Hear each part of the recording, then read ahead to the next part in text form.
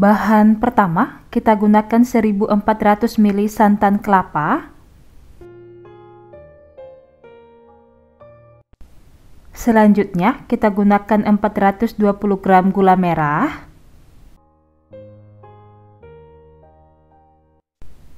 Dua lembar daun pandan.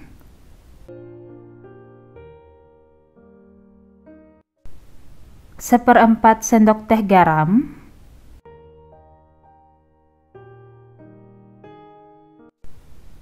Ini kita masak dengan menggunakan api sedang.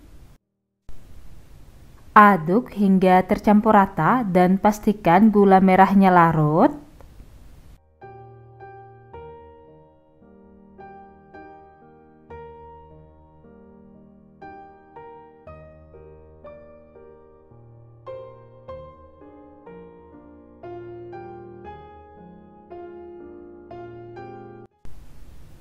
Sekarang kita masukkan ke dalam wadah.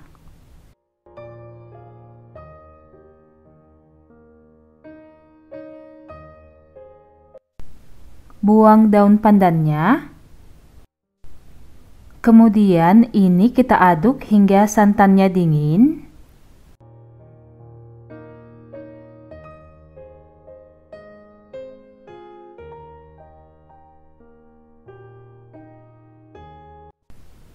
Selanjutnya kita gunakan 350 gram tepung beras atau sekitar 35 sendok makan.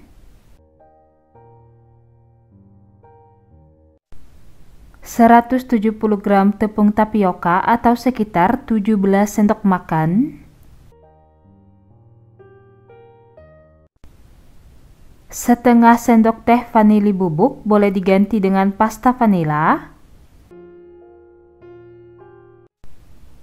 Aduk semua bahan hingga tercampur dengan rata.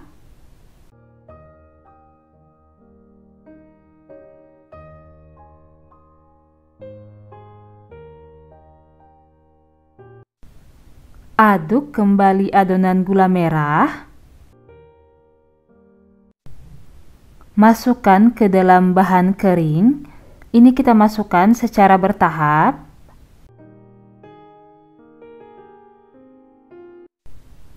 Kemudian kita aduk hingga tercampur rata.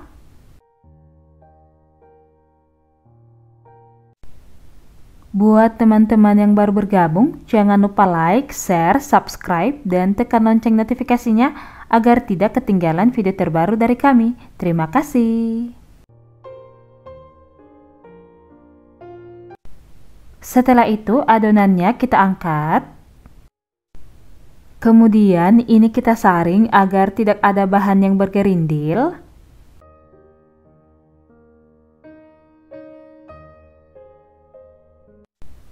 Adonannya kita aduk kembali hingga tercampur rata.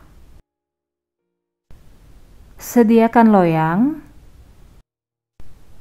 Tambahkan sedikit minyak goreng. Oleskan hingga merata di bagian dalam loyang.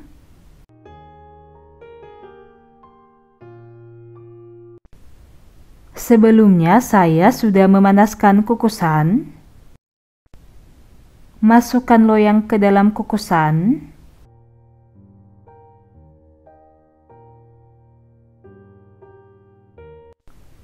Aduk terlebih dahulu sebelum dimasukkan ke dalam loyang. Kemudian masukkan 4 centong adonan ke dalam loyang.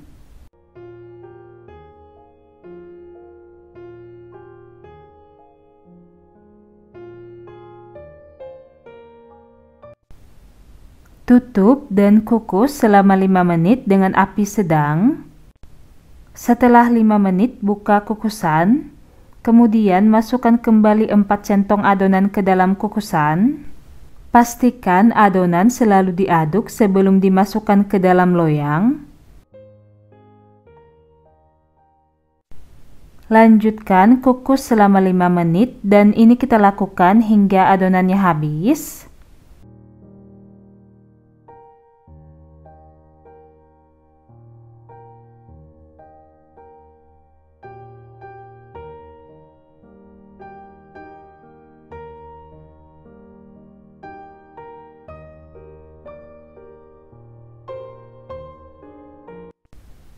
Setelah adonan sudah dimasukkan semua, ini akan lanjut kita kukus selama 25 menit. Setelah 25 menit buka kukusan. Hmm, aromanya enak banget.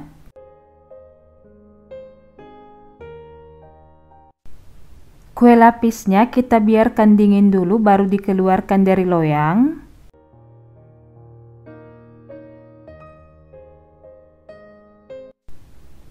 Setelah sudah dingin, kita keluarkan dari loyang.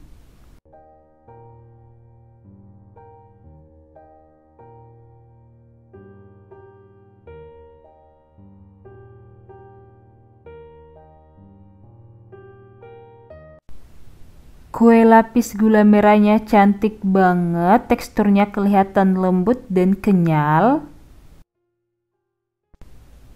Pastikan pisau yang digunakan dilapisi dengan plastik wrapping atau boleh dioles dengan minyak goreng agar tidak lengket pada saat kita potong.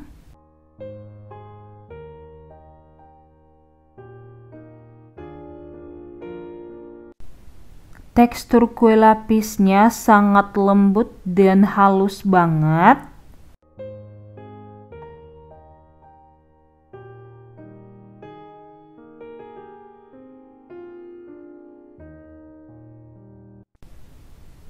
Kue lapis gula merah siap untuk disajikan. Teman-teman bisa lihat sendiri lapisannya mudah lepas. Hmm, ini enak banget. Lem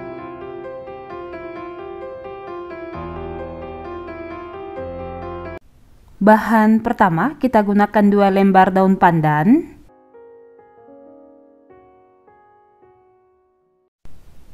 Selanjutnya, kita gunakan 900 ml santan kelapa.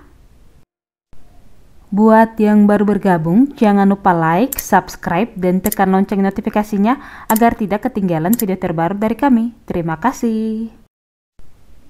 Tambahkan 225 gram gula pasir atau sekitar 15 sendok makan. Seperempat sendok teh garam.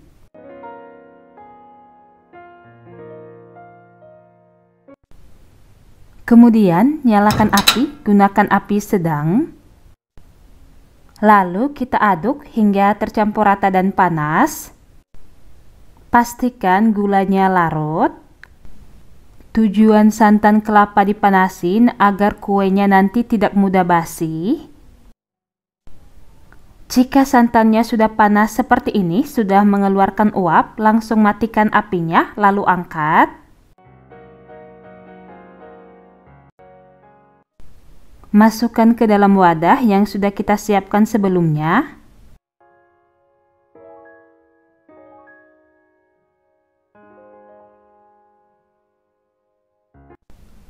Kemudian daun pandannya kita buang.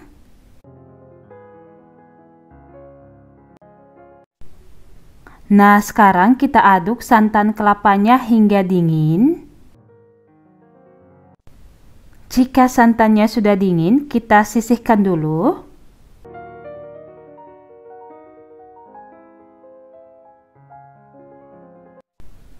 Selanjutnya, kita gunakan 270 gram tepung beras atau sekitar 27 sendok makan.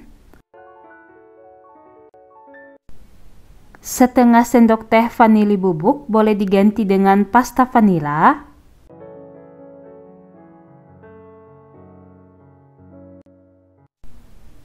80 gram tepung tapioka atau sekitar 8 sendok makan.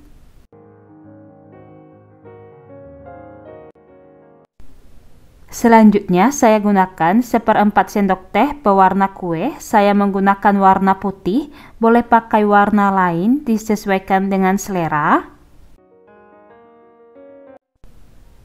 Aduk semua bahan kering hingga tercampur rata.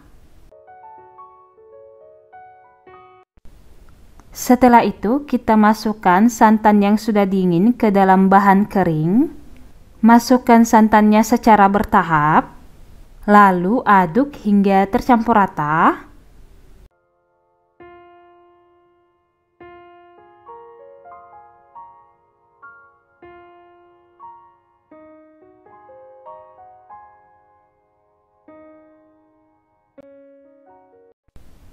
Kemudian angkat dan ini akan kita saring agar tidak ada bahan yang bergerindil.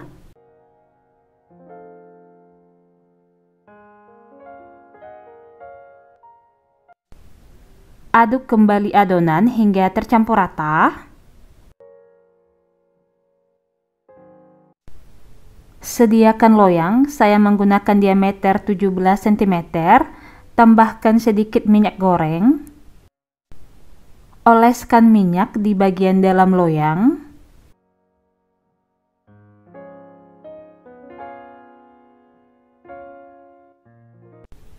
Sebelumnya saya sudah panaskan kukusan.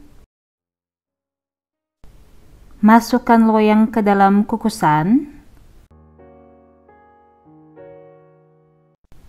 Pastikan adonan diaduk sebelum dimasukkan ke dalam loyang.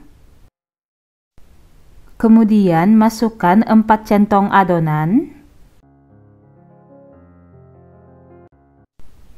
Kukus selama 5 menit dengan api sedang. Setelah 5 menit buka kukusan. Masukkan kembali adonan ke dalam loyang. Lanjutkan kukus selama 5 menit. Lakukan hal yang sama hingga adonannya habis.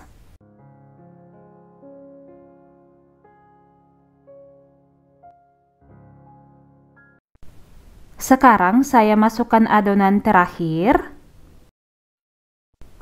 dan lanjutkan kukus selama 25 menit. Setelah 25 menit buka kukusan. Hmm, aromanya enak banget.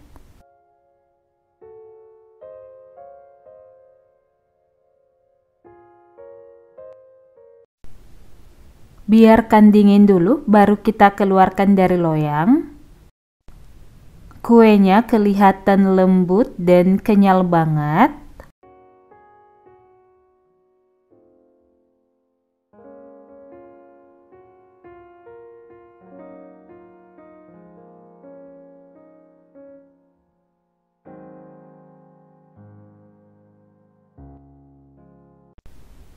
Kuenya cantik banget, menggugah selera. Sekarang kita akan potong.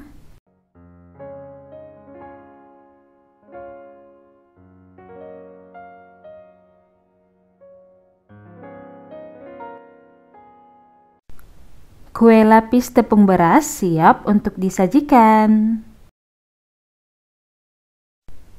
Hmm, ini rasanya enak banget teksturnya sangat lembut, kenyal di mulut. Hmm, ini enak banget guys, manisnya pas dan benar-benar lembut.